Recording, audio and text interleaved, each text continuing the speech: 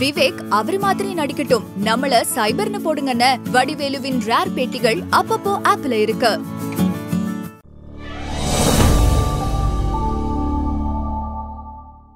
நார்மலாக நான் வந்து அந்த வீட்டில் தப்பிச்சு வந்தது காரணமே அந்த டாஸ்க்கு தான் நண்பா. Sir call to over over எல்லாம் வந்துட்டாரு கொரியோகிராஃபர் வந்துட்டாரு. நோபடி இன்ஸ்ட்ரக்ட் டீம் அவங்க ஃப்ரெண்ட்ஸ் யாருமே வரக்கூடாது. இது மாதிரி டே டேய் எங்கடா என்ன கூப்பிட்டு போறீங்க? எனக்கு ஒன்றும் புரியல. சில ஆர்டிஸ்டாக ஃபீல் பண்ணி சில பாடிஸ் இருக்குல்ல அந்த பாடிஸ்லாம் ரணம் தான் ரணம் தான். ஃபோனு வாங்கி வச்சுங்க சார் இது பண்ணிங்க சார். டேய் டேய் டேய் நீங்கள் யார்கிட்ட பேசுறதுன்னு தெரியுதா? பாபா பாஸ்கர்ரா? சார் யாராக இருந்தாலும் தான் சார். அதாவது அவங்க டைமிங் என்னன்னா அஞ்சே காலுக்கு தான் வருவாங்க. அதுக்கப்புறம் இந்த மிருகங்கள்லாம் ஏந்துரும்ல. சரி நாங்களாம் எழுந்துருவோம்ல. இப்போ நீ ஒரு ஆர்டிஸ்ட்டை மீட் பண்ணுறேன்னா எங்கள் படத்தை கூட நீங்கள் பண்ணணும் அப்படின்னு சொல்லி சொல்லுவாங்களே ஃபார்மாலிட்டி டைலாக்ஸ் அதெல்லாம்.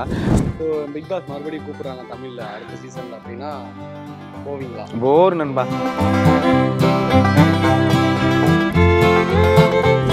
சினிமா விகடன் வியூவர்ஸ் எல்லாருக்குமே ஒரு பெரிய வணக்கம். இன்னைக்கு நம்ம முன்னாடி டான்ஸ் மாஸ்டராக கேள்விப்பட்டிருப்போம். தெலுங்கு பிக் பாஸோட கண்டஸ்டன்ட் பாபா பாஸ்கர் சார். எப்படி சார் இருக்கீங்க? நல்லா இருக்கேன் நண்பா. நல்லா இருக்கேன். இறைவனோட ஆசீர்வாதத்தில். எப்படி போகுது? நான் நல்லா போயிட்டு இருக்கு சூப்பராக போயிட்டு இருக்கு பிக் பாஸ் எப்படி இருந்துச்சு? அது வந்து இப்போ எல்லாமே லைஃப்ல வந்து ஒரு வாட்டி காசிக்கு போயிட்டு வந்தணும்னுவாங்களே. ஒரு வாட்டி இதுக்கு போயிட்டு வந்தணும்னுவாங்களே அந்த மாதிரி லைஃப்ல எல்லாரும் ஒரு வாட்டி பிக் பாஸ் போயிட்டு போயிட்டு வந்தா ரொம்ப ஹாப்பியா இருக்கும். இது எந்த விதத்தில் எடுத்து ஹாப்பியாவா? ஹாப்பி மீன்ஸ் சி இப்போ என்னன்னா நிறைய ஆர்டிஸ்ட்லாம் வந்து எப்படி இருக்காங்கன்னா சி நான் யாரையும் தப்பான எண்ணத்துலலாம் சொல்ல வரல. சி அவங்களுக்கு ஒரு செருப்பு இருக்கணும். அவங்க ஷூட்டிங் முடிச்ச பிறகு ஒரு செருப்பு போட்டுப்பாங்க. அதுக்கப்புறம் இதுதான் பண்ணுவாங்க. சி க்ரீன் டீ அந்த பிராண்டட் தான் இருக்கணும். பிளாக் காஃபி இதெல்லாம் இருக்கணும்னுவாங்கல்ல. சி அங்கே போனால் எதுவுமே கிடைக்காது. எதுவுமே கிடைக்காது. நீ இதுதான்டா சாப்பிடலாம் சுடு தண்ணி தான்டா நீ குடிக்கலன்னா சுடு தண்ணி தான் குடிக்கணும். சரி அதனால எனக்கு வந்து ஆஸ் யூஷுவல் தான் நண்பா. எனக்கு வந்து நான் இங்க என்ன பண்ணணும் அதுதான் அங்கேயும் பண்ணேன். என் வீட்டில் நான் எல்லா வேலைகளும் நான் தான் பார்ப்பேன். அங்கேயும் போய் நான் எல்லா வேலைகளும் நான் பார்த்தேன். அதனால எனக்கு ரொம்ப கம்ஃபர்ட்டாக இருந்தது. சில ஆர்டிஸ்டாக ஃபீல் பண்ணி சில பாடிஸ் இருக்குல்ல அந்த பாடிஸ்க்குலாம் ரணம் தான் ரணம் தான் பிக் பாஸ் வந்து வேற லெவலில் காமிச்சாரு. செம்ம எக்ஸ்பீரியன்ஸ் நண்பா. அது மிஸ் பண்ணக்கூடாது. உனக்குலாம் கடிச்சா மிஸ் பண்ணாத. போயிடு. கிடைச்சா நூத்தி அஞ்சு நாள் எப்படி இருந்துச்சு? ஃபர்ஸ்ட் டேக்கும் அந்த நூத்தி ஐந்தாவது நாளுக்கும் என்ன எப்படி இருந்துச்சு? எப்படி உணர்ந்தீங்க? ஃபஸ்ட் டேல இருந்த என்ன நண்பா? ஃபர்ஸ்ட் டே வந்து ரொம்ப ஹாப்பியாக இருந்தது. சரி ஆக்சுவலாக வந்து நான் வந்து அந்த வீ ஏதோ ஒரு குருட்டு நம்பிக்கையில் ஒத்துக்கினேன். பிக் பாஸ் பிக் பாஸ்ன்றாங்களே எங்கள் வீட்டில் ஃபஸ்ட்டு கேட்டேன். ஆ, போங்க போங்க போ போயிட்டு வாங்க அப்படின்னாங்க. அதுக்கப்புறம் ரெண்டாவது நாள் என்னடி நான் போவா வேணாம். எங்க எங்க வேணாங்க வேணாங்க. என்னடி சொல்கிறேன் அதுக்கப்புறம் நாலாவது நாள் கேட்குறேன் போங்க பரவாயில்ல ஏதோ போயிட்டு வந்துருங்க. அதுக்கப்புறம் கேட்குறேன் ஏங்க வேணாம் வேணாங்க. இந்த மாதிரி டாக் வந்துன்னு இருக்கு அப்போ எனக்கு எப்படி இருக்கும் மைண்டில் ஐயோ என்னடா இது இப்படி இங்கேயே இவ்வளோ இதுவே ஒரு பிக் பிக் பாஸ் டாஸ்க் மாதிரி பண்ணிட்டேன் அப்படிதான் இருக்கு. அவங்க வேற ஃபோன் பண்ணில மாஸ்டர் வந்தீங்கன்னா நல்லா இருக்கும் மாஸ்டர் நல்லா இருக்கும் மாஸ்டர் ப்ரோ நீங்க சொல்றீங்க நல்லா இருக்கும். என்னோட ஆம்பிஷன்லாம் வேற ப்ரோ நான் வேற ஏதோ பயணத்தை நோக்கி போயிட்டு இருக்கேன். நீங்க திடீர்னு வந்து இதுல கூப்பிடுறீங்க. இல்ல இல்ல இல்ல. சி இதுல பாத்தீங்கன்னா நிறைய பேர் உங்களை கேக்குறாங்க. பாபா பாஸ்கர் வந்து பிக் பாஸ் த்ரீக்கு வந்தா நல்லா இருக்கும் அப்படின்னு சொல்லி நிறைய பேர் அட்டன் பண்ணியிருக்காங்க. சரி அதனால தான் நாங்க சொல்றோம். நீங்க வாங்க. இல்ல ப்ரோ நான் வரல ப்ரோ அப்படின்னா சரி அவங்க கீப்பான் ட்ரை பண்ணாங்க. அதுக்கப்புறம் ஒரு சந்தர்ப்பத்துல நான் இல்ல சரி போய் தான் பார்ப்போமே மோதி தான் பார்ப்போமேன்னு சொல்லி இறங்கிட்டேன் நண்பா. இறங்கிட்ட பிறகு ஒரு ரெண்டு நாளுக்கு முன்னாடி கூப்பிட்டு போனாங்க என்ன. அங்கே போயிட்டு உக்காந்த உடனே என்ன பண்ணாங்கன்னா நான் ஏர்போர்ட்டில் இறங்கின உடனே இன்னும் ஒரு நாலு பேர் சுற்றிட்டாங்க அப்படியே வந்து என்னோட காரில் ஏறி உட்கார வச்சாங்க. உட்கார வச்ச உடனே பிளாக் ஸ்க்ரீன் ஓட்டினாங்க. சார் சார் ஆ நீங்கள் இப்படியே வாங்க சார். எல்லார்கிட்டையும் ஒரு பேசிக்காதீங்க படம் பார்த்த மாதிரி ஃபீல் ஆயிடுச்சு. டிரைவர் கிட்ட கூட பேசாதீங்க. ஏய் வண்டி நிறுத்துங்க. இங்கேருந்து நான் அப்படியே ரிட்டர்னு அப்படியே நான் சென்னை கிளம்ப இன்னும் ஓவர் பில்டப்பா இருக்கு. இப்படிதான் பேசினேன். ஆ. பேசின உடனே ஒரு இடத்துல டீ சாப்பிடணும். நித்தியா நான் இது சிகரெட் வாங்கணும். சிகரெட் அடிக்கணும் அப்படின்னு சொன்ன உடனே சார் சார் சார் சிகரெட்லாம் வேணாம் சார். சார் போகும்போது உள்ளே அந்த ஸ்க்ரீனை இறக்காம அப்படியே நான் அடிக்கிறேன். யா நீங்க செத்து போகாம தான் நான் அடிக்கிறேன்னு சொன்னேன். சரி போன உடனே ஒரு இடத்துல நிறுத்தினாங்க டீ. டீயை கூட அவன் என்ன பண்ணானா? இந்த கேப்ல திறந்து இப்படி குத்தான். டேய் என்னடா இங்க இருந்தே பயம் புத்துறீங்க எனக்கு புரியல. அதுக்கப்புறம் டீ எல்லாம் குச்சி சிகரெட்லாம் ஆச்சு யோசிக்கிறேன். போலாமா? இப்படி ரிட்டர்ன் போயிடலாமா? அதுக்கப்புறம் ஹோட்டலு பார்க் ஹையத்துன்னு ஒரு ஹோட்டலு போய் தாங்கினேன். போனவொடனே அவன் வந்து என்ன பண்ணானா சார் நீங்கள் இங்கே உட்காருங்க நான் பார்த்தேன் sir call to over over எல்லாம் வந்துட்டாரு கொரியோகிராஃபர் வந்துட்டாரு. நோபடி இன்ஸ்ட்ரக்ட் டீம் அவங்க ஃப்ரெண்ட்ஸ் யாருமே வரக்கூடாது. இது மாதிரி டேய் எங்கடா என்ன கூப்பிட்டு போறீங்க? எனக்கு ஒன்றும் புரியல. அப்புறம் ரூம்குள்ள எடுத்துன்னு வந்தாங்க sir sir sir everybody get out அப்படின்றானுங்க. இப்படி பண்றாங்க. நான் உள்ள போனேன். ஆஸ் யூஷுவல் நான் எப்பவுமே ஆகிட்டேன். வேற லெவலா இருந்தது நண்பா. என்னன்னா அவனுங்க வந்து அந்த பயத்தை வந்து எனக்குள்ள உண்டு பண்றாங்களாம். நீங்க வந்து ஒரு பிக் பாஸ் கண்டஸ்டன்ட் கொடூரமான ஒரு காட்டுக்குள்ள போக போறீங்க அப்படின்னு சொல்லி எனக்கு இந்த ஜுமாஞ்சில வரும்ல அந்த மாதிரியே நான் வந்து என்ன இவனுக்கு பில்டப் பண்றாங்க வீட்டுக்குள்ள ரூம்குள்ள வந்துட்ட பிறகு cut it off the cable TV பார்க்க கூடாது சார். ஃபோனு வாங்கி வச்சுங்க சார். இது பண்ணிங்க சார். டேய் டேய் டேய் நீ யார்கிட்ட பேசுறேன்னு தெரியுதா? பாபா பாஸ்கர்ரா. சார் யாராக இருந்தாலும் தான் சார். உடனே நான் கிளம்புவேன். எடு என் லக்கேஜ் எடு. என் லக்கேஜ் எடு நான் கிளம்புறேன். இப்படி தான் சண்டை. எனக்கு அனுவோம் சார் சார் சார் அப்படி சொல்லுவாங்க. ஏய் எவன்டா அவன்? கூப்பிட்றா அவனை ஃபோனை கூப்பிட்றா. ஹலோ நீ யாரும்மா நீ? என்ன எதுமா வந்து டிவி ஒரு ரூமை குத்திங்க டிவியெல்லாம் எடுத்து கட் பண்ணுறீங்க உள்ள நாலு பேர் வெளியே நிற்கிறானுங்க உள்ள வந்து என்ன ஏதோ ஹவுஸ் அரெஸ்ட் மாதிரி பண்ணிருக்கீங்க. அது பாரு நாளைக்கு வேலைக்கிழமை. நான் சாய்பாபா கோயிலுக்கு புரியுதா போயிட்டு நான் வெளியே சுற்றுவேன் எனக்கு ஹைதராபாத்தில் பிடிச்சமான சாப்பாடுலாம் சாப்பிட வேண்டிய வேலைலாம் இருக்கு. நான் ஒரு வீட்டுக்குள்ளே போகிறேன் அங்கே சோறு போடுங்களா போட மாட்டீங்களா கூட எனக்கு தெரியாது. நான் என் திருப்தியான அதெல்லாம் சாப்பிட்றேன்டா அப்படின்னு சொல்ல வழியில் சார் சார் சார் சார் கண்டிப்பாக சார் சார். உடனே அவன் ஃபோன் நீங்கள் அங்கே கொடுங்க சார். என்ன டேய் அவர் என்ன கேட்குறாரு இது பண்ண. சரி எனக்கு டிவிலாம் வேணாம் நான் டிவிலாம் பார்க்க மாட்டேன்டா. என்னை ஃப்ரீயாக விட்டுருங்கடா. அப்படின்னா எனக்கு ஒரு பையனை கொடுத்தாங்க.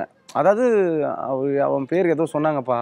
ஷேடோ ஷேடோவான் நான் நடக்கும்போது என்னோட ஷேடோவான் என்னை பார்க்கறதுக்குன்னு ஒரு ஷேடோ அவன் கூடியே இருப்பான் என் ரூம்ல ஆனா என்னை பத்தி எதுவும் பேச மாட்டானா? அவங்கள பத்தி நம்ம எதுவுமே கேட்டுக்கூடாதான் இப்படிலாம் ஒரு ஷேடோன்னு ஒருத்தன் வந்தான். சரி அவன் கூட சரி ஷேடோ என்னப்பா பண்ற sir this is my duty sir நான் உங்களுக்கு ஷோ ஷேடோவா எப்பவுமே இருப்பேன் சார் உங்களுக்கு என்ன வேணும் என்ன வேணாலும் தருவியா? நான் இப்போ வந்து வெளியே போகணும். நான் இங்கேருந்து சென்னைக்கு போகணும். ரெடி பண்ணுவியா. சார் இதெல்லாம் நான் பேசக்கூடாது சார் சாரி சார் இப்படின்னு ஒரு ரோபோ மாதிரி பிஹேவ் பண்ணுகிறான்பா அப்புறமா நான் எல்லாம் பேசி கீசிட்டு கீழே போனேன். நான் இப்போ வெளியே போனேன் நான் வேஷ்டி கட்டின்னு சாமி கும்பிட ஆஞ்சநேயர் பக்கத்தில் சாய்பாபா கோயில் ஆஞ்சநேயர் கோயிலாக சுற்றிட்டு அப்படியே போயிட்டு சுற்றிட்டு நான்வெஜ் எதனா நல்லா இருக்குமா? பாட் பிரியாணி இதெல்லாம் வாங்கிட்டு வந்து சாப்பிட்டேன். அதுக்கப்புறம் சார் நீங்கள் இங்கே வாங்க சார். உங்களுக்கு இந்த டெஸ்ட் பண்ணணும் அந்த டெஸ்ட் பண்ணணும் அந்த டெஸ்ட் பண்ணணும் இந்த டெஸ்ட் பண்ணணும் சப்போஸ் நீங்கள் உள்ளே இருக்கும்போது உங்களுக்கு எதனா ஆயிடுச்சுன்னா எதனா என்னடா பயமுறுத்துறீங்க? ஆ, இப்படிதான் இருந்தது நண்பா. போயிட்டு உடனே என்ன பயம் புத்திட்டானுங்க. அதாவது நான் வந்து ஹாஸ்பிட்டலுக்கு போனேன். டெஸ்ட்லாம் எடுத்தாங்க. என்னை ஓட விட்டாங்க அது பண்ணாங்க. குதிரைக்கு எடுக்கிற மாதிரி எல்லாமே பண்ணாங்க. சார் எப்படி சார் இருக்கு? Sir your all perfect thank you sir அப்படின்னு சொல்லிட்டு வந்துட்ட பிறகு என்னை வந்து அவசரஸ் மாதிரி வச்சுனே இருந்தானுங்க. அதுக்கப்புறம் மாஸ்டர் நீங்கள் கிளம்ப போறீங்க. ட்ரெஸ் பண்ணிக்கோங்க இது பண்ணிக்கோங்க. அது பண்ணி ஒரு பிக்கப் ஒன்று குத்தாங்க நண்பா. அந்த வீட்டுக்குள்ளே போகிற வரைக்கும் எனக்கு அவங்க பண்ண இதில் லோ பிபி வந்துருச்சு. ஐயோ வீட்டுக்கு போலாமா வேணாமா இல்ல இங்கே எதனா டிராமா பண்ணி எஸ்கேப் ஆயிடலாமா? நெஞ்சு வலிக்குது நெஞ்சு வலிக்குது இப்படிலாம் யோசிச்சுட்டு உள்ள உள்ள உட்கார வச்சிட்டு இருக்காங்க. உள்ள உட்கார வச்சோன்னா அங்க இருக்க டிவி கேபிளையும் அரெஸ்ட் பண்ணி எடுத்துட்டாங்க. மாஸ்டர் இந்த ரெண்டாவது நாள் எப்படி இருந்துச்சு? ரெண்டாவது நாள் வீட்டுக்கு போறோம். வீட்டுக்கு போன உடனே ஃபர்ஸ்ட் அப்பதான் நண்பா ஒரு முழு வித்தையை காமிச்சானுங்க. என்னன்னா ஃபர்ஸ்ட் டைம் என் கண்ணை கட்டுறானுங்க. ஏ எதுக்குப்பா கண்ணெல்லாம் கட்டுறீங்க? சார் பேசாதீங்க சார். நான் கண்ணை கட்டி தான் சார் கூப்பிட்டு போனோம். கண்ணை கட்டினாங்க அதுக்கப்புறம் ஒரு மாஸ்க் வச்சாங்க. அதுவும் இல்லை இதெல்லாம் லைன் மாஸ்க் வச்சா கூட பரவாயில்ல. ஏதோ பூனையோ எலியோ மாஸ்க் வச்சு என்னை கூப்பிட்டு போகிறாங்க டே சரி ஓகே பரவாயில்ல. ஏதோ ஒரு கூப்பிட்டு போகிறாங்க ஆ கண்டிஷன் கம்மி கண்டிஷன் கம்மி கொரியோகிராஃபர் கம்மி அப்படின்னு ஓவர் பில்டப்பாக இருந்தது. அதுக்கப்புறம் என்னை இறங்குலேருந்து என்னை குடுற மாதிரியே கூப்பிட்டு போகிறாங்க நண்பா.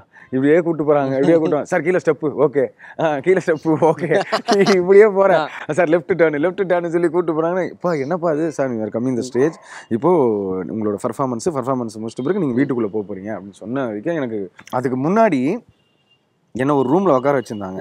தனியாக ஒரு ரூமில் அந்த ரூமில் என்னென்னா அதே டிவி கிவிலாம் பிடிங்கிட்டாங்க. எனக்கு சீரியஸாகவே லோ பிபி ஆயிடுச்சு நண்பா. என்னடா அது நம்ம எடுத்த டிசிஷன் கரெக்டா இல்லையா? எதனா தப்பு கிப்பு பண்ணுறோமா எனக்கு தெரியலையே இவளுக்குலாம் இப்படி பண்ணுறாளுங்களே யாருமே வரல. Silence sir silence sir. Cigarette பிடிக்காதீங்க sir. அப்படிலாம் சொல்கிறானுங்க என்னடா இது அப்படின்னு சொல்லி பக்கு பக்குன்னு பா கால் த டாக்டர் ப்ளீஸ் அப்படின்னு சொல்லி ஒரு பிட்டு போட்டேன். எனக்கு ஏதோ நர்வ்ஸில் இருக்குன்னா டாக்டர் வந்தாங்க. டாக்டர் வந்து ஒரு அழகான பொண்ணு வந்தாங்க. நான் டாக்டர்னா தொப்பலாம் வச்சு சதாகோப்பை வச்சுக்கினா அப்படி வருவாருன்னு நினச்சேன்.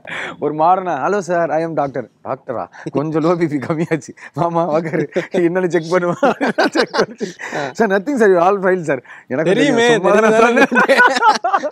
வாக்கால்ட்டு sir don't worry sir sir you have good following sir நான் கூட உங்கள் ஃபேன் சார் அப்படியே பேசுனேன் அப்படியேம்மா சரி ஓகேன்னு இந்த கிவ் த சாக்லேட் ஃபார் அந்த இது சுகரிஸ்க்காக கொடுத்தது. சாக்லேட்டாக சாப்பிட்டேன். எனக்கு அவன் வேணும். எனக்கு இவன் வேணும்னு சொல்லி எல்லாமே எனக்கு தெரிஞ்ச ஆளுங்க எல்லாத்தையும் கூப்பிட்டு ரூம்குள்ளே வச்சுக்கினேன். டேய் கடைசியாக பார்க்குற மாதிரி இருக்கிற அவங்க எல்லாத்தையும். ஒரு வாட்டி உங்க எல்லாரையும் யார் சந்தோஷமா- யார் மாஸ்டர் கூப்பிட்டீங்க? என்னோட மேனேஜர் ஹைதராபாத்ல ஒரு மேனேஜர் அப்புறம் அந்த என்ன ஃபர்ஸ்ட் ஃபர்ஸ்ட் ஏர்போர்ட்ல இருந்து பிக்கப் பண்ணாங்க. மனோஜ்னு ஒரு பையன். அவன் சூப்பரா பேசுவான். அவனை பேச அவன் பேசினாவே ரசிச்சுனே இருக்கலாம். அவனை கூப்பிட்டு உட்கார வச்சுக்கிட்டேன். அதுக்கப்புறம் அவனோட கேர்ள் ஃப்ரெண்ட் ஒன்று இருக்கு. அதை கூப்பிட்டு உட்கார வச்சுக்கிட்டேன். அப்புறம் என் கூட சின்ன பசங்க சாங்லாம் என் கூட பையன் ஒரு பையன் ஆடுவான். அவனை வர வச்சு உட்கார வச்சுக்கிட்டேன். எல்லாரையும் உட்கார வச்சு பேசுறேன் மாஸ்டர் டோன்ட் வரி மாஸ்டர் போய் நல்லா பண்ணிட்டு வாங்க மாஸ்டர் சரிடா நீங்க தான் அப்ரிஷியேட் பண்றீங்க சத்தியமா எனக்கு உள்ளுக்குள்ள என் காலை பாத்தியில ஷேக் ஆகுது அப்படி இருக்கு. நான் அப்போ கூட போலாமா வேணாமா போலாமா வேணாமான்னு என் ஒய்ஃப் கிட்ட லாஸ் ஏங்க பயந்தா வந்துருங்க. ஒரு மாதிரி இருந்தால் வந்துருங்க அப்படின்னு சொல்கிறாங்க ஐயோ இவ்வளவு வந்து சிக்னல் கொடுத்துட்டா வான்னு சொல்லி எப்படி இங்கேருந்து எஸ்கேப் ஆகுறதுன்னு பார்க்குறேன் எதனா ஒன்று பண்ணலாமா? இல்லைனா ஹார்ட் அட்டாக்னு பத்துக்கலாமா? இப்படிலாம் பிளான் பண்ணுறேன் சரி அப்புறம் கூட ஏய் முன்னாடி வச்ச காலை பின்னாடி இருக்கக்கூடாது எனக்குள்ளே இருக்க ஒரு பாபா பாஸ்கர் அவன் சொல்லினே இருக்கான். டேய் வாடா எவ்வளோ மிருகங்களை பார்த்து வேட்டையாட்டி வந்துட்டோம்.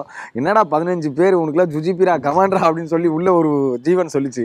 சரி கமான் லெட்ஸ் கோ அப்படின்னு சொன்னோன்னே திருப்பி கண்ணெல்லாம் கட்டி கூட்டு போனாங்க. அப்புறம் நாகார்ஜுன் சார் கிட்ட என்ட்ரி அதுக்கப்புறம் நீங்கள் வீட்டுக்குள்ளே போவீங்கன்னு சொல்லி அங்கேருந்து கண் கட்டியே ஜேர்னி நண்பா. அதுக்கப்புறம் வீட்டுக்குள்ளே போகிறதுக்கு முன்னாடி பில்டப் பண்ணுறாங்க பாரு சூட்கேஸ் வச்சு நிற்கிறேன் சார் ஒன் டூ என்னம்மா என்ன? என்ன சார் சார் இருங்க. பேசாதீங்க. Come on sir yes sir yes sir yes sir sir we are taking sir sir ஐயோ டேய் இப்படியே விட்டுருக்கடா டே இப்படியே போயிடலடா அப்படி இருக்குது. Ready stand by stand by stand by நான் அந்த இடத்துல பதினஞ்சு நிமிஷமா நிற்கிறேன் நண்பா. எப்போ? நான் போனது ரெண்டு மணிக்கு. மத்தியானம் ரெண்டு மணிக்கு. என்னை உள்ள எப்போ தெரியுமா விட்டானுங்க? பதினோரு மணிக்கு. அது வரைக்கும் அந்த டோர் வாசல்லையே இருபது நிமிஷமா நிக்கிறேன். டே இப்படிலாம் நான் நின்னது இல்லடா. என்ன இரிட்டேட் பண்ணாதீங்களா அப்புறம் ஒரு அக்கா வந்து ரெடி ஸ்டெடி கோ கோ தந்தாங்க. அப்பா கடவுளே காப்பாத்துப்பால் சொல்லி போறேன் அப்புறம் அங்க இருக்க ஒரு அஞ்சு ஜீவன்கள் என்னை பார்த்து மாஸ்டர்னு வச்சு பரவாயில்லையே நம்ம தெரிஞ்சிருக்கோம் போல இருக்கு. Hi hi hi hi hi Bhaskar அப்படின்னு சொல்லி இப்படிதான் இன்ட்ரோ ஆனேன். சரி போக போக பார்த்தா அங்க வந்திருக்க மனிதர்கள் கூட ரொம்ப தங்கமான மனிதர்களாக தான் இருந்தாங்க.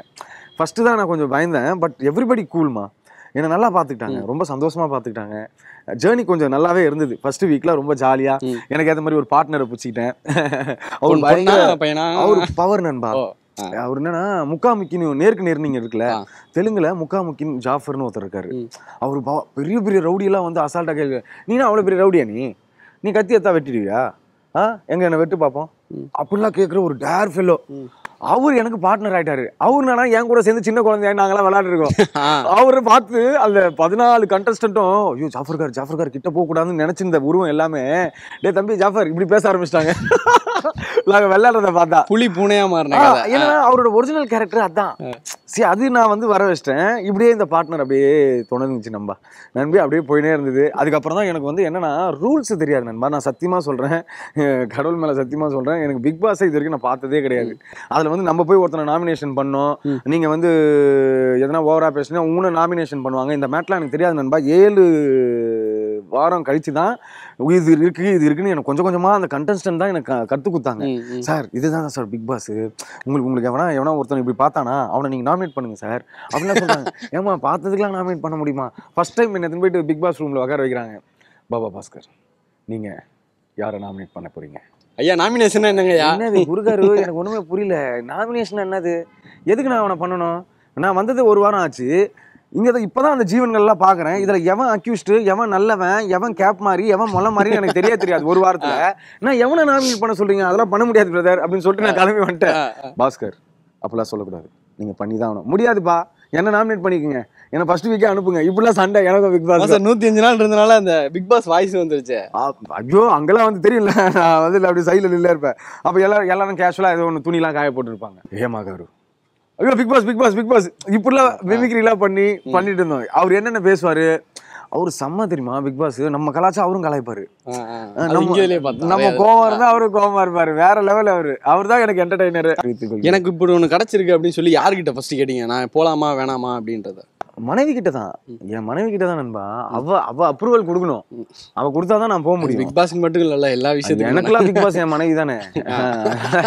அந்த பாஸ் வந்து போங்கன்றாங்க ரெண்டு நாள் கழிச்சு வணங்கன்றாங்க போங்கன்றாங்க வளாகன்றாங்க இந்த டபுள் மைண்ட்ல போனேன் நண்பா. அதுதான் அங்க. ஒண்ணும் இல்ல. அப்புறமா கரெக்ட் வேற யார்ட்டையுமே டிஸ்கஸ் பண்ணலையா? ஒய்ஃப்ட்ட மட்டும் தானா அப்புறமா நான் வந்து சரி இந்த மாதிரி பிக் பாஸ்ல இருந்து வந்த உடனே I the big boss Vijay டிவில அப்பதான் வந்து இந்த. அனிதாவா வனிதாவா? வனிதா. வனிதா இவங்க டீம்ல வந்தது அதே மாதிரி நான் பார்க்குற எபிசோட் என்ன நண்பா? நான் வந்து கரெக்டாக பார்க்கல நண்பா. எல்லாரும் கும்பலா உட்கார வச்சு நாமினேஷன் பண்ணுவாங்க. அந்த டீட்டெயிலாக பார்க்கல. நான் அந்த நேரத்தில் வெளியில இருப்பேன். ஏய் சும்மா அது வெயிட்டியே வந்தவொடனே என்ன என்ன பண்றாங்க பார்க்கலாம் அப்படின்னு சொன்னோன்னே அவங்க ஏதோ விளையாடிட்டு இருப்பாங்க. அதுல இந்த பொண்ணு மட்டும் ஒருத்தர் போயிட்டு இது பண்ணும். அதாவது பிக் பாஸ் அவருக்கு ஃபோன் பண்ணுவாங்க. இப்போ பிக் பாஸ் வந்து நீங்க அவங்கள அவங்க மேல காஃபியை கொட்டிட்டீங்கன்னா. அவர் செத்துட்டாரு அப்படின்னு சொன்னாங்க ஆஹா சூப்பரா இருக்கே. இப்படிலாம் நான் பார்த்துட்டு இருந்தேன். இது மட்டும் தான் தெரியும் தவிர எனக்கு நாமினேஷன்லாம் தெரியாது நண்பா. போ போ புரிஞ்சுக்கிட்டேன் நண்பா. புரிஞ்சிட்ட பிறகு ஃபார்முக்கு வந்துட்டேன் நான். அதே மாதிரி என்னன்னா அந்த வீட்ல எனக்கு வந்து நான் இங்கேருந்து போகும்போது என்ன தெரியுமா எடுத்துட்டு போனேன்? நாலு ஜீனு ஒரு மூணு ட்ராக்கு ஒரு நாலு ஷர்ட்டு ரெண்டு கட் பனியனு ஒரு எட்டு ஜெட்டி இவ்வளோ தான் எடுத்துட்டு போனேன். எனக்கு தெரியும். எனக்கு வந்து அந்த குகையில என்னால் இருக்க முடியாது. சம்திங் ஏதோ ஒன்று நடக்கும். நம்ம கேரக்டருக்கு நிற்காது அப்படின்னு சொல்லிட்டு மட்டும் எனக்கு தெரிஞ்சிச்சு. நாலு ரெண்டு வாரண்டி இல்லைன்னா நாலு வாரம் தான் ரிட்டர்ன் வந்துருவண்டி. அப்புறமா தான் தெரியுது நீங்க நினைச்சாலாம் போக முடியாது. மக்கள் வந்து உன்னை நாமினேட் பண்ணி நீ வேணாம் பாபா பாஸ்கர் அந்த வீட்ல இருக்க தகுதி இல்லைன்னு சொல்லி அமிச்சாதான் நம்ம போக முடியுன்ற அவுட் ஆக முடியும் மேட்ரு எனக்கு அப்புறமா தான் நண்பா தெரியும். அடடா. இப்ப அவ்வளவுதானா? சரி வா பயணத்தை தொடருவோம். என்னன்னா எனக்கு ஏத்த மாதிரி வேலையெல்லாம் எடுத்துக்கணும் நண்பா. அதாவது சமைக்கிறது சமைக்கிறதுன்னு இல்ல நண்பா. எல்லாமே பண்ணேன். சரி நான் எப்பவுமே அஞ்சு மணிக்கு ஏஞ்சி நண்பாங்க அஞ்சு மணிக்கு ஏஞ்ச உடனே எனக்கு காக்காக்கு சோறு வைக்கிற எனக்குன்னு ஒரு கூட்டமே இருக்கு அங்க. குருவிங்க கூட்டமே. தெலுங்கு. குருவி தெலுங்கு ஆடியன்ஸ் இந்த ஃபேன்ஸ் வந்துட்டாங்க. அவங்க வந்தாங்க. அவங்க கூட பழகுறது எனக்கு ரொம்ப சந்தோஷமா இருந்தது. டெய்லியும் காலைல சோறு வைப்பேன் இட்லி இருக்குல்ல அது மேல போட்டோம்னா எல்லாம் ஒரு அஞ்சே கால். அதாவது அவங்க டைமிங் என்னன்னா அஞ்சே காலுக்கு தான் வருவாங்க. அதுக்கப்புறம் இந்த மிருகங்கள்லாம் ஏந்துரும்ல. சரி நாங்களாம் ஏந்துருவோம்ல அதனால அந்த மிருகம் என்ன பண்ணுதுன்னா அஞ்சே காலுக்கே முடிச்சிருது பிரேக்ஃபாஸ்ட்டை ஆனா நான் கொஞ்சோண்டு போட்டேன் நண்பா. அதுக்கு வந்து ஒரு ஏழு மைனா. வந்து சாப்பிடும்போது ஒரு திருப்தி இருக்கு பாரு ஒரு ஆனந்தம் இருக்கு பாரு. பூனைலாம் வந்துருச்சு வீட்டுக்குள்ள. அதாவது நாங்க ஒரு அதாவது பழகிக்கிட்டோம். அதுக்கப்புறம் என்னது உட்பேக்கர் உட்பேக்கர். உட்பேக்கர் கரெக்டா இருக்கும். அங்க ஒரு கேமரா பெரிய கேமரா டாப்ல வச்சிருப்பாங்க. அதுக்கு மேல அது உட்பேக்கர் அப்படி நின்று இருக்கும். ஆ, ஆ. அது என்னன்னா எப்போ மூடு இருக்கோ எப்போ பெரிய இன்செக்ட் எதனா வருதோ வெட்டுக்கிளி பெருசா எதனா இருக்கும்ல அப்போ வந்துட்டு போகணும் நண்பா. டரங்னு எடுத்துன்னு போவோம். ஐயோ இதுல வாழ்ந்துட்டேன் நண்பா. அப்படியே எனக்கு எனக்கு தெரிஞ்ச சின்ன சின்ன வேலைகள் சமையல் சில கிளீனிங்கள் சமையல்ன்றது பெரிய விஷயம் இல்ல. அது ப்ரிப்பேர் பண்றது பதினஞ்சு பேருக்கு ப்ரிப்பேர் பண்றதுனா எனக்கு கூடயும் கொஞ்சம் அஸ்டன்ஸ் இருந்தாங்க. நான் வந்து ஒரு once upon a time first போனப்பலாம் ஒரு அம்மாக்கு அஸ்டண்டா இருந்தேன். அந்த அம்மா வந்து என்னை வந்து மாஸ்டர் பாத்திரம் கழுவிடுங்க. ஆ, இங்க இருந்து அதை போய் அதை பண்ணிடுங்க இதை பண்ணிடுங்க. ஓகே மேடம் அப்படின்னு சொல்லிட்டு ஸ்ட்ரைட்டா போய் கட் பண்ணுவேன் வருவேன். வேலை எனக்கு கரெக்டா இருந்தது. நடுவில் கேப்ல போய் எல்லாத்தையும் கலாய்ப்பேன் எல்லாத்தையும் ஓட்டுவேன். இப்படியே டைம் பாஸ் ஆயின்னு நண்பா.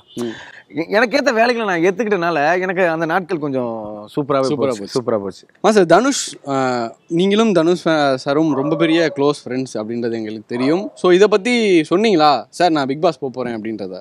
ஆஹா நான் நேரா போய் சொல்லல. அவ- அவரோட உதவியாளருக்கு மட்டும் தெரிவிச்சேன். டே இது மாதிரி பிக் பாஸ் போக போகிறேன்டா இது மாதிரி கூப்பிட்டுருக்காங்க. நான் வரத்து கூட டைம் இல்லை. என்னை வந்து இந்த செக்அப் பண்ணுன்றானுங்க அந்த செக்அப் பண்ணுன்றானுங்க ஜெராக்ஸ் எடுக்கணுன்றாங்க என்னை படுக்க வச்சு எக்ஸ்ரே எடுக்கணுன்றானுங்க. என்னென்னமோ சொல்றாளுங்கடா கொஞ்சம் சாருக்கு மட்டும் கொஞ்சம் இன்ஃபர்மேஷன் பண்ணிடுறா அப்படின்னு சொன்னேன். மாஸ்டர் சொல்லிடுறேன் மாஸ்டர் சொன்னாராம்? அவரும் ஒரு நாலஞ்சு எபிசோட் ஃபாலோ பண்ணியிருக்காரு. நம்மளை பார்த்து பரவாயில்லையடா அப்படின்னு நான் இப்ப இப்ப வந்தவனே டேய் நான் வந்துட்டேன்னு சொல்லு.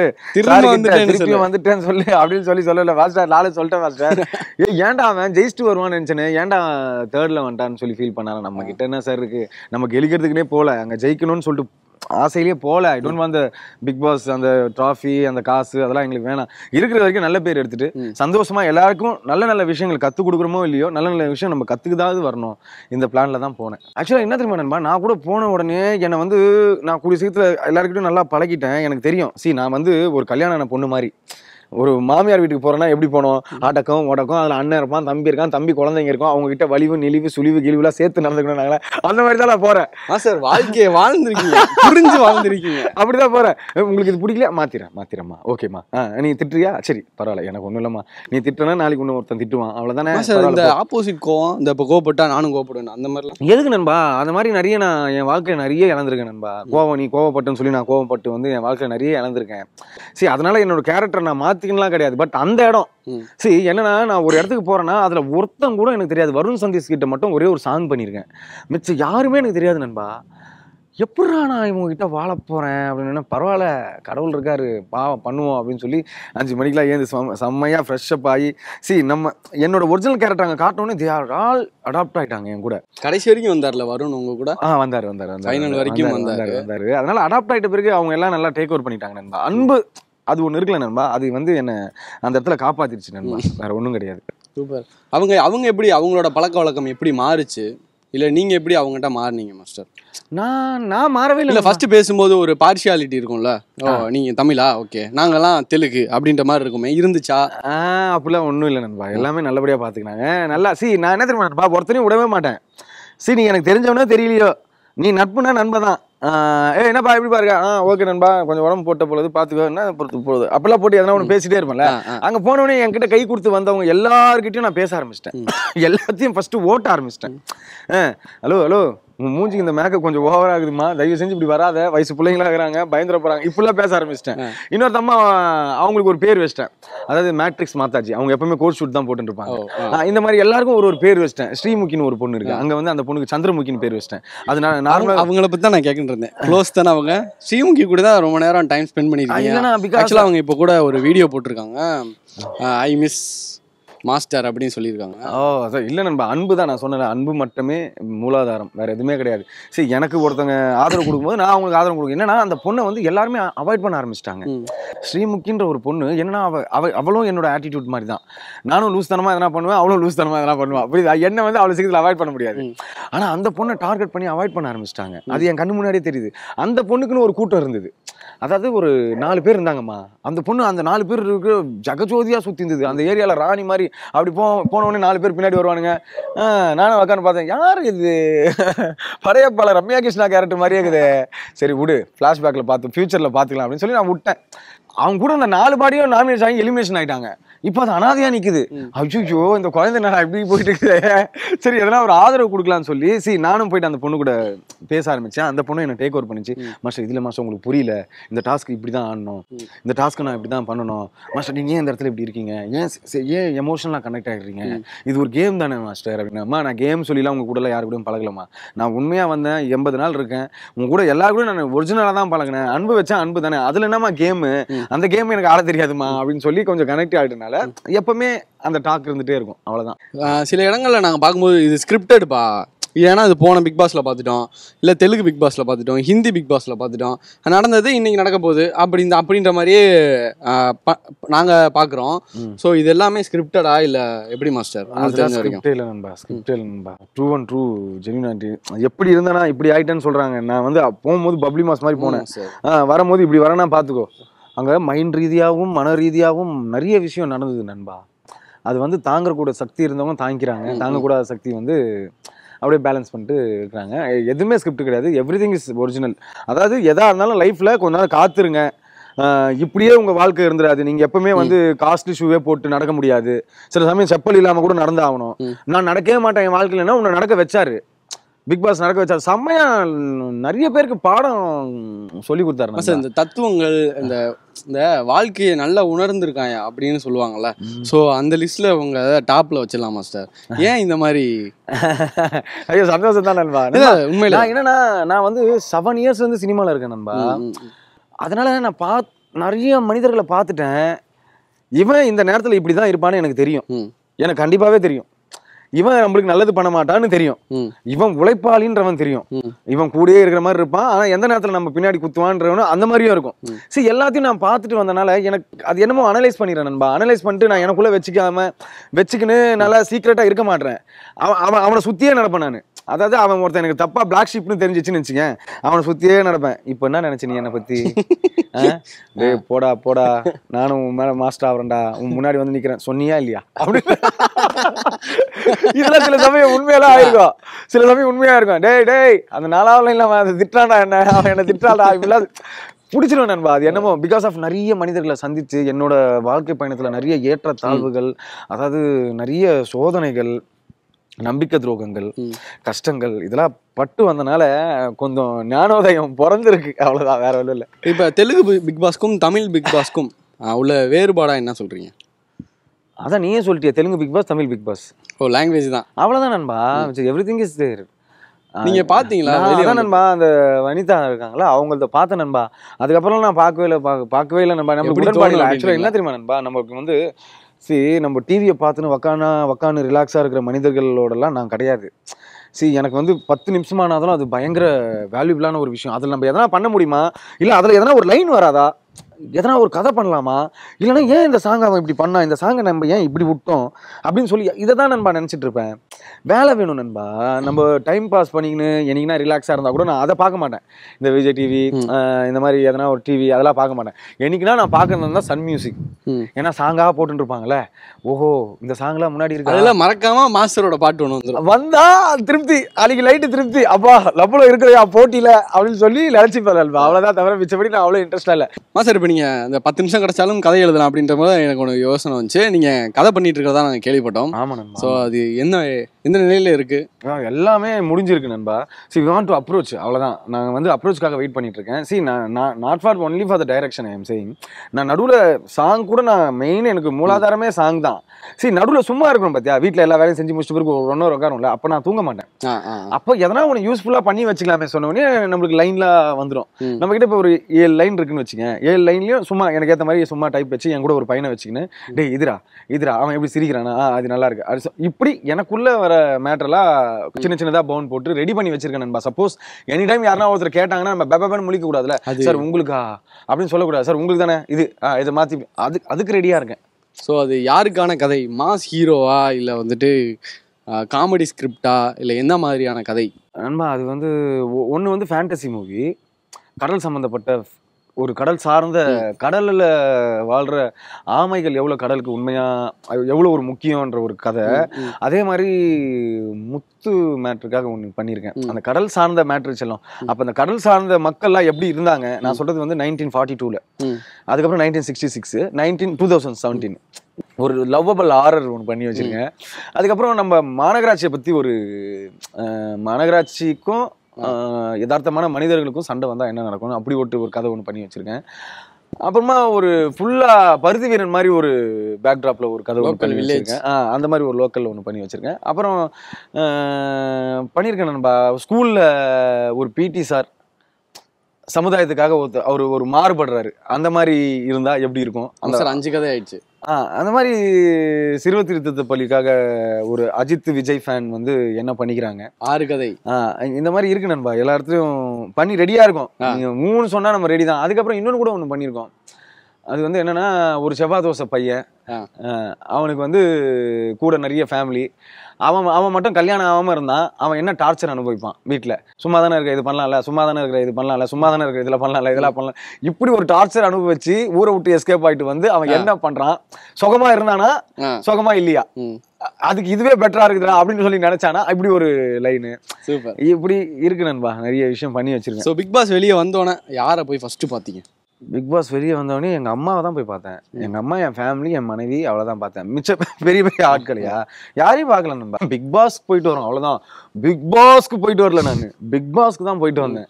அதனால என் வாழ்க்கை மாறிடும். நான் வந்து எல்லாரையும் போய் பார்த்து இப்படி இப்படி இருக்கேன் நான் அப்படி இப்படி இருக்கலாம் கிடையாது நண்பா. நம்ம என்னைக்குமே ஒரே லெவல் தான். ஸோ நீங்க முத நாளும் அந்த நூத்தி ஐந்தாவது நாள் வெளியே வரும்போதும் ஒரே மாதிரி தான். கண்டிப்பாக. என்னோட மனநிலைமை மட்டும் கொஞ்சம் மாறி இருந்தது. உடல்நிலை மட்டும் கொஞ்சம் மாறி இருந்தது. குண்டா போனவன் ஒல்லியா வந்தேன். அவ்வளவுதான். வச்ச தவிர வேற எதுவுமே இல்லை நண்பா. சூப்பர் மாஸ்டர் அதே மாதிரி உள்ள பிக் பாஸ்ல இருந்தீங்களா அப்போ யாராவது பார்த்துட்டு மாஸ்டர் நான் உங்களோட கொரியோகிராஃபில நான் ஆடணும் அப்படின்னு சொல்லி யாராவது ரெக்வஸ்ட் வச்சாங்களா? அதெல்லாம் வைப்பாங்க நண்பா. அது அந்த இடத்துல சும்மா டிவிக்காக சொல்லுவாங்க நண்பா. மனசார வந்து எவனும் கொடுக்க மாட்டான்னு தெரியும் எனக்கு அதெல்லாம். விஜய் தேவர்கொண்டா வந்தா போல. வந்தவொடனே மாஸ்டர் என் படத்துல நீங்க ஒரு பாட்டு பண்ணணும். அப்பா அப்பா கண்டிப்பா கொடுத்துருவேன் நீ அப்படின்னு சொல்லிட்டு தான் நான் வந்தேன். ஏன்னா சும்மா அதெல்லாம் எனக்கு தெரியும் நண்பா. சும்மா அந்த இதுக்கு வந்திருக்கோம். அஸ் டான்ஸ் மாஸ்டர் நான் மீட் பண்றேன்னா அதானே சொல்லுவாங்க. இப்போ நீங்க ஒரு ஆர்டிஸ்ட்டை மீட் பண்றேன்னா எங்க படத்தை கூட நீங்க பண்ணணும். அப்படின்னு சொல்லி சொல்லுவாங்களே ஃபார்மாலிட்டி டைலாக்ஸ் அதெல்லாம். சரி சீரியஸ்லி தே கிவ் நோ நான் வந்து அவனை பெருசா மதிப்பேன். கொடுத்தானா. சிரஞ்சீவி சார் ஒன்று சொன்னார். மாஸ்டர் நான் வந்து இப்போ நூற்றி ஐம்பது கைதி ஒன் ஃபிஃப்டி கைதி ஒன் ஃபிஃப்டிலேருந்து நடிக்க ஆரம்பிச்சிட்டேன். அதனால் நீங்களும் எனக்கு ஒரு பாட்டு பண்ணும் சார். என்ன சார் இப்படி சொல்லிங்க சார்? வெயிட்டிங் சார் அப்படின்னும் நான்லாம் உங்கள் ஃபேன் சார் பாபா நான் உன் ஃபேனுமா அப்படின்லாம் சொன்னார். அதெல்லாம் ரொம்ப பெரிய விஷயமா இருந்தது நண்பா. சரி அதுக்காகவே வெயிட்டிங் பை சான்ஸ் நெக்ஸ்ட் படம் பண்ணும்போது என்னை கூப்பிட்டாருனா சரி இதெல்லாம் இதெல்லாம் சொல்லுவாங்க நடந்துதான்ன்றது தான் நம்ம கவனிக்கணும். எஸ் இங்கே கமல் அப்படின்ற மாதிரி அங்க நாகார்ஜுனா சார். ஸோ எப்படி என்ன பேசினாரா அவங்ககிட்ட தனியா ஏதாவது? நான் தனியாலாம் எதுவும் பேசல நண்பா. அப்படியே எல்லா கும்பலோட குழந்தை தான் மாஸ்டர். ஆ மாஸ்டர் நீங்கள் நல்லா இருக்கீங்க மாஸ்டர். நடுவில் நடுவில் காமெடி பண்ணி சீரியஸான மேட்டர் கூட காமெடி பண்ணிடுறீங்கன்னாங்க. சரி காமெடி பண்ணக்கூடாது நிறுத்திட்டேன். அதுக்கப்புறம் நீங்கள் நடுவில் நடுவில் பேசுறீங்க மாஸ்டர். சரி அதுவும் பேசக்கூடாது நிறுத்திட்டேன். மாஸ்டர் இது பண்ணுறீங்க மாஸ்டர்? அது. அப்படியா சரி ஓகே அதுவும் நிறுத்திட்டேன். அப்போ நான் என்ன தான் பண்ணும் சார் எனக்கு ஒன்றும் புரியல சார் இல்லை மாஸ்டர். ஏ, நல்லதா எதனா பண்ணுங்க. நல்லதா பண்ணுங்க எனக்கு புரியல சார் Yeah. தயவு செய்து என்னை எலிமினேட் பண்ணி அனுப்புங்க சார் இந்த மாதிரிலாம் கேட்டல அல்வா எனக்கு. சரி அது அதான் சொல்றேன்ல. இது பண்ணாலும் தப்பு. அது பண்ணாலும் தப்பு. நியூட்ரலா நின்னாலும் தப்பு. ஏன் நியூட்ரலா நிக்கிறாரு அவரு? இந்த பக்கம் பேச மாட்டாரு அந்த பக்கம் பேச மாட்டாரு இப்படிலாம் இருந்தாலும் தப்பு நண்பா. அதனால சம பக்குவமான ஒரு இடத்துக்கு போயிட்டு வந்திருக்கேன். ஸோ பிக் பாஸ் மறுபடியும் கூப்பிடுறாங்க தமிழ்ல அடுத்த சீசன்ல அப்படின்னா போவீங்களா? போர் நண்பா. ஒரு வாட்டி தான் நண்பா. அது இன்ட்ரெஸ்டிங்கு அதுதான் அவ்வளவுதான். அஹ் ரெண்டாம் நம்பர்ல போய் நம்மளுக்கு தான் தெரிஞ்சிடும்ல ஆ. இப்போ இது பண்ணுவாங்க. இப்போ இதே பண்ணுவாங்க. ஆ இது பண்ணுவாங்க. ஐயோ இது போர் அடிக்குது. நார்மலாக நான் வந்து அந்த வீட்டில் தப்பிச்சு வந்தது காரணமே அந்த டாஸ்க்கு தான் நண்பா. சி ட்ராலி டாஸ்க்லாம் ஒன்று கொடுத்தாங்க. ட்ராலி எடுத்துன்னு போய் நம்ம ஒரு இடத்துல பார்க் பண்ணால் நீங்கள் நீங்களே சேவ் பண்ணிக்கங்க அப்படின்னு சொல்லி கொடுத்தாங்க. இப்போ மக்கள்லாம் சேவ் பண்ணுறது கிடையாது. தம் இருந்தா தில் இருந்தா உன்னை நீ காப்பாத்திடான்ட்டாரு பிக் பாஸ். ஆ அப்படியா? சரி ஓகே நல்லா தானே இருக்குது. போட்டு நின்று ஒரு ட்ராலி வச்சுக்கின்னு. அதான் பெல்லு எப்போ அடிப்பான்னு தெரியாது நண்பா. சும்மா பக்கத்துல பா அப்படின்னா கூட குடுக்குன்னு ஓடுறோம். இப்படி இருக்கும். ஆ. அலர்ட்டா இருக்காங்க எல்லாரும். சரி நாங்களே ஓடி ட்ராலி எல்லாம் தொட்டு கும்பிட்டு வாழ்க்கையில் ஃபர்ஸ்ட் டைம் ட்ராலியில் ஏர்போர்ட்டில் இருக்குமே அந்த ட்ராலியை தொட்டு கும்பிட்டு அம்மா நீ தான் என்னை காப்பாற்றணும் இப்படிலாம் ஓட ஆரம்பித்தேன். அதுவும் என்னை காப்பாத்திச்சு அந்த ட்ராலியும். அதனால திருப்பி திருப்பி நம்ம அதுக்கு போனோம்னு நினச்சிங்க சக்கரை ஒன்று தான் ரெண்டு வாட்டி சாப்பிடலாம் நண்பா, அவ்வளவுதான். அதை வந்து திருப்பி திருப்பி பண்ணக்கூடாது. Super super master. ரொம்பவே அருமையான நேரங்களா இருந்துச்சு. Thank you so much master. ஏன்னா இவ்வளோ த தெலுங்குல போயிட்டு சாதிச்சுட்டு வர்றதுன்றது அது நூற்றி ஐந்து நாட்கள் முழுமையாக இருந்துட்டு வர்றதுன்றது சுலபமான விஷயம் இல்லை. அது நீங்கள் சொன்ன அந்த டாஸ்க்லாம் கேட்கும்போது இப்போவே நம்ம பிக் பாஸ் பற்றியே கொஸ்டின் கேட்க வேணாம்ப்பா அந்த மாதிரி இருந்துச்சு. நன்றி நன்றி நன்றி. ரொம்ப சந்தோஷம் மாஸ்டர் தலைவர் படத்துக்கு கடைசியாக பேட்ட படத்தில் உள்ளாலா போட்டிருந்தீங்க. அதே மாதிரியான ஒரு மாசான ஒரு பாட்டு ஒரு படம் எதிர்பார்க்கிறோம். ஸோ. நிறைய படங்கள் பண்ணுறோம்னு கேள்விப்பட்டோம். ஸோ அதையும் வெற்றிகரமாக முடிச்சிருங்க. Thank you so much master thank you so much நன்றி நன்றி சினிமா விகடன் நேர்கள் அனைவருக்கும் ரொம்ப நன்றி. என்னை வந்து சப்போர்ட் பண்ணுங்க. தயவு செஞ்சு சப்போர்ட் பண்ணுங்க. Not for only for the big பாஸ்லாம் கிடையாது. என்னோட வாழ்க்கையில நான் நிறைய பண்ண போறேன். கண்டிப்பா பண்ணுவேன். பண்ணாம சாவ மாட்டேன். அந்த எல்லா விஷயத்துக்கும் என்ன சப்போர்ட் பண்ணுங்க. ப்ளீஸ் சினிமா விகடனை சப்ஸ்கிரைப் பண்ணுங்க. நன்றி. வணக்கம். அப்பப்போ ஆப்பை டவுன்லோட் பண்ண டிஸ்கிரிப்ஷன்ல இருக்க லிங்கை கிளிக் பண்ணுங்க. அப்பப்போ இனிமே ரீடிங்னாலே அப்பப்போ தான்